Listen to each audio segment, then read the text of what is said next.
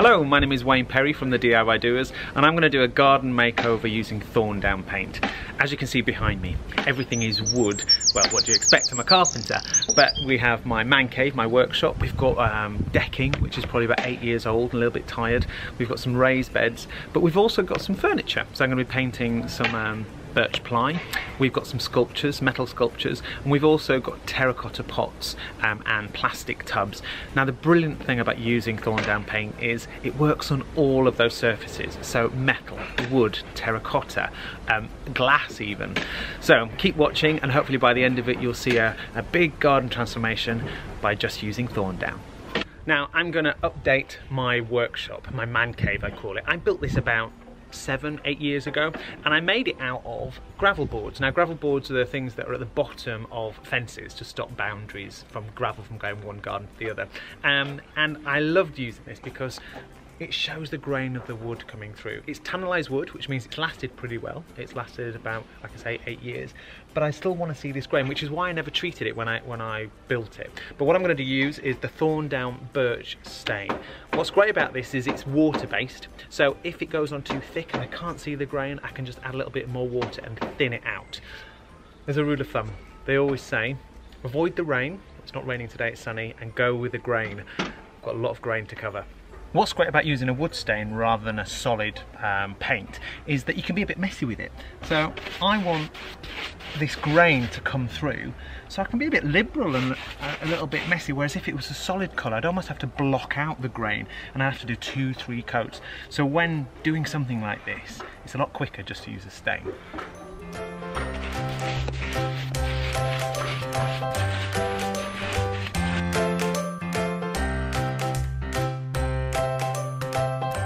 Finished. Looks great. I've uh, give it just one coat of Thorndown um, wood stain. I've used the birch and it's really brought out the texture of the wood which I wanted. I think it's going to last another nine years. All I need to do now is uh, clean my brushes with water, water based. I'm now going to be painting my raised beds with this Thorndown paint, wood paint. The beds are made of railway sleepers with decking boards on top and originally I painted them the same as the decking the problem with that is everything in my garden is really dark. The planting behind is really dark. So what I need to do is brighten things up a little bit. It's, it's a decent big area which will brighten things up, but it's not huge. So I'm actually going to paint it in a block colour, solid block colour, by using this limestone, a really light, light colour. It's going to take two coats. What's great is the first coat is, is touch dry within an hour, so I'll be able to do a second coat pretty quickly with Thorndown paint. I finished the raised beds and it only took two coats. Well, hey!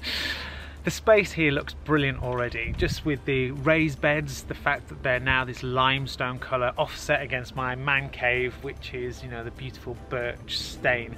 I couldn't be happier with the result so far. Now I'm going to be updating and protecting my garden furniture. Being a TV carpenter I get to work on some amazing shows and get to make some amazing things. For example I made this uh, uh, hammock frame for Celebrity Big Brother. I'm a task carpenter on that show and this was made just for one, one task which meant it was going to be thrown away um, but I also made it out of internal wood so it's not ideal to be outside. And I, and I still want to use this I want to protect it. So I'm going to be painting this with the Thorndown block colour I've got a coffee table which I uh, made for tattoo fixers and it was featured on quite a few series of tattoo fixers. Um, but I don't want to change the colour of that I just want to protect it. I want to bring out the, the nourishment of the wood. So I'm going to use a nice Thorndown UV clear paint for that.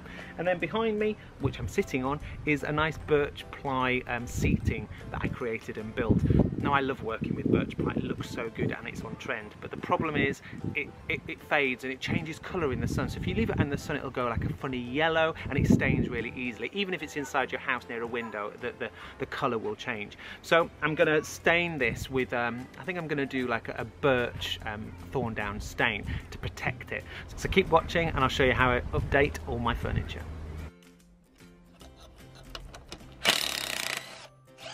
I'm painting this hammock in um, Bishop's Blue. It's a really, really rich blue. I'm loving it. Um, I probably could get away with one coat, but like I said before, it's a it's an internal wood. It's not been tannalized. It's not meant for outside. So I'm actually going to give it two coats to make sure it's really protected. If I wanted to be really pedantic, I could then use the the UV um, varnish, clear varnish over the top of it. But if I'm being honest, I think two coats will be enough. I gave the coffee table a quick sand just because it had a few marks and blemishes on it from being on the show for four series. Came up really, really well. Um, I then topped it off and give it one coat of the Thorndown UV Clear Protective Varnish. It has a slight sheen to it, so it looks um, like it's got a shellac finish almost. It's not glossy, but it's not totally matte. Um, sometimes it's a preference, um, but I really like it. I think I still see the grain of the wood, but also it has a feel like it's been protected, especially if it's going to be left outside in the rain. And just to finish off, I've wrapped up my brush in a plastic bag to protect it for a week so I don't have to wash it out, because know I'm going to be using that again later on. I've sanded down my birch seat because I'd left it out and it actually did have some watermarks on it. Um, and also I've brushed any, any debris away. You don't want any of that dust inside your paint. When you open your paint tin for the first time, make sure that you give it a really good stir so that the, the colour pigment goes all the way through the UV protective liquid.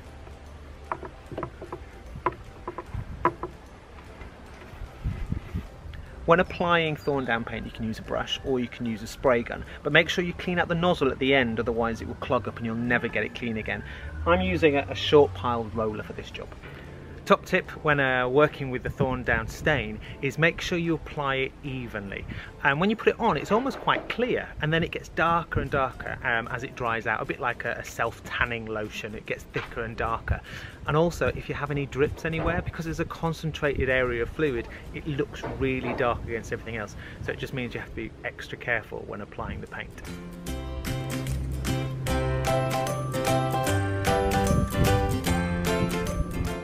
I'm now going to turn my attention to the decking. This decking is about nine years old, so it's well past its best. But I'm hoping with the help of Thorndown, I can extend the life by a couple of years. Top tip when cleaning your decking before you paint it is don't pressure wash it. So many people pressure wash so it's all sparkling clean, but what that does is it opens up all the wood grain, which means water can get in and then it can rot quicker. So you actually, you're reducing the life of your decking boards. Before I stain the decking, I want to change any broken areas. Now there's one part that's quite rotten, so luckily I've got a spare piece of decking board, so I'm gonna cut the old piece out, replace it with the new stuff, and once it's all been stained, you won't even notice that it's been patched up. I've done it. All the preparation is out of the way. I'm actually sweating.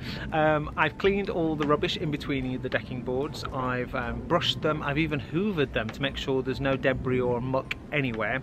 And now's the fun part. I get to paint. And I'm actually going to be using the Thorndown Ash wood stain. Now what's great about this is it's not a solid block colour, which means I won't have to do three or four coats, which is a bit tedious if it's a huge large area like a decking normally is. So I recommend using a stain so you can get away with two coats which will protect it sufficiently.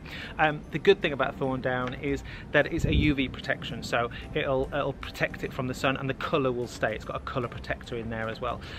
Top tip, is make sure your decking is completely dry. If there's water inside your decking, moisture inside the decking, all it will do is will rot it from the inside out. So you must do it on a dry surface. Top tip number two is if it's a brand new deck, the wood will be really, really porous. And what happens is when you're painting, the, the water in the paint will go straight through the decking board and then the paint will become a little bit chewy. So you can, because it's a water-based Thorndown paint, Thorndown is water-based, you can add a little bit of water just to uh, um, help with that, to stop any chewing with the paint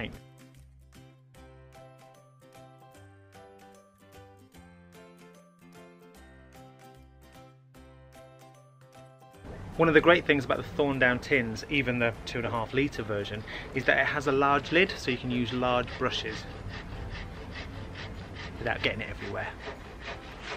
The decking's finished. Surprisingly, it was quite an easy job. It only took two coats and that took about an hour to do. The hardest part was the preparation, the hoovering and the sweeping. Um, my main thing is that I'm really, really pleased that it's going to last at least another year and I could probably extend the life by the decking board by another three if I keep topping it up with a Thorndown paint we're nearly there. All the big jobs have been done. If you can see behind me, the uh, workshop's been sorted, the decking's been painted, the raised beds and the furniture's all been painted. All we've got now to do is the fun stuff. So we've got terracotta pots and plastic pots, we've got some metal work and we've got glass. So keep watching and we'll be showing you how to use peelable glass paint. Now's the time I get to have a little bit of fun with the pots. I've got quite a few pots in the garden. I've got some terracotta pots and I've got some plastic PVC tubs as well. Now what's great about Thorndown paint is their colour spectrum is amazing. And even if you don't like any of the colours on here, because they're water-based, you can mm. actually mix them together and create a colour that you like. Now, we've got some quite strong colours in the garden. We've got some really strong blue, we've got some limestone colour, and then we've got the rich dark colour of the wood.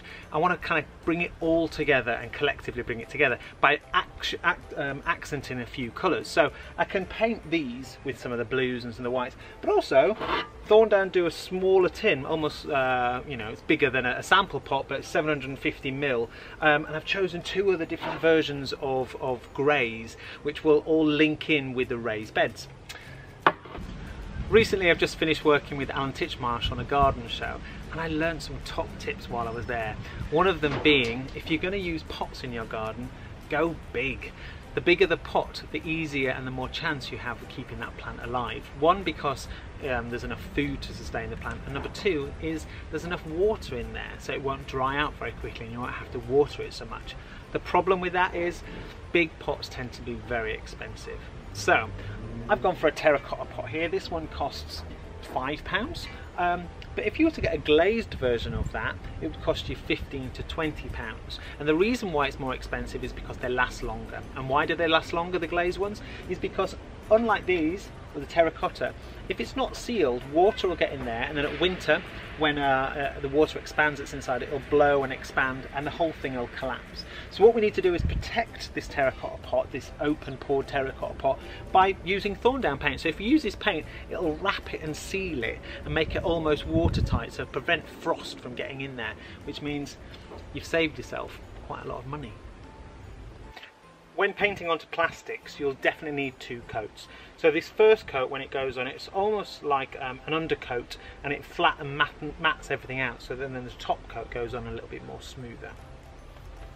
Now this is something I made for a craft show and it's made out of barrel rings um, and I created this sphere effect so that I could put it in a pot and things could climb through it I actually really like the weathered look and I like I like the rustic effect of it but the problem is everything in my garden there's not much colour um, in, in, the planting it's all quite browns and greens and it's just getting lost so I want to celebrate it a little bit more so I'm going to paint it with Thorndown paint and see how it turns out. First thing I'm going to do is give it a clean and get rid of any loose debris. Best thing to use on metal is a wire brush when painting anything that's a little bit unstable, like a flaky wall or some flaky furniture, normally you would put a stabilizing solution on there. And what that does it gives it a flat base so things won't peel off afterwards but what's interesting about Thorndown, that first coat that goes on, it almost feels like it's got a stabilising solution in it. So obviously this is a little bit rusty. We've cleaned it, but there might be some bits that come off. But this first layer that I put on will automatically just tie it all together, almost hold it together like glue. As you can see with this garden makeover, I've managed to use Thorndown on terracotta pots, on plastic pots, on metal and wood, but it doesn't need to stop there. You could use Thorndown to paint your UPVC windows or even your front door, give your house a front door makeover. And then you could take it inside because it's water based, there's minimal odour. You could paint your furniture or even any of your, your walls or your furniture or your woodwork inside the house. So you can continue the theme from outside all the way into your home. Now we're having a bit of craft fun with Thorndown peelable paint just to finish off the garden. And I've enlisted the help of my daughter Eva. Hi and her friend Evie. Hi.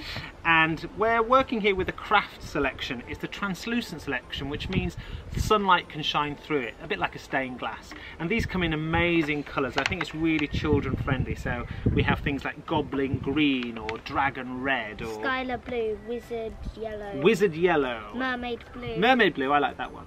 So I think they're aimed at the kids and it's crafts. What's great about this, as it says on the tin, it's peelable. So if you make a mistake or you decide to change the pattern or the picture, you can just peel it off. So we're working on some mirrors here um, and we're just having a little bit of fun with it. There's also an opaque collection, which means it blocks the sunlight going through it. So this is perfect if you've got a conservatory that's a little bit too hot and you just want to block out the sunlight, or even you want to have a little bit of fun with your greenhouse. What's great about this product, yet again, is that it's 100% water-based, um, it's eco-friendly, and also it's made from 100% recycled resin, so it's good for the environment as well. We have finished. The Thorndown garden makeover is complete and it only took a couple of days and I've got to say the paint was a dream to work with. So what have we done? We've stained my workshop, we've stained the decking, we've painted the raised beds, we've protected the coffee table with a UV varnish, we've updated and painted and stained the seating area, we've um, painted the terracotta pots, the um, plastic tubs, and we've even updated and painted some of the metal sculptures in the garden. And finally, we had a little bit of fun with the family and used the peelable glass Thorndown paint. All that's left now to do is enjoy my garden with the family. Now, if you thought this video was helpful, please check us out at thediydoers.com. Um, join our interactive Facebook group and, and don't forget to subscribe to our YouTube channel. If you want any more information about Thorndown paint, please look at the links below and we'll give you all the information there. And remember, you can be a DIY doer.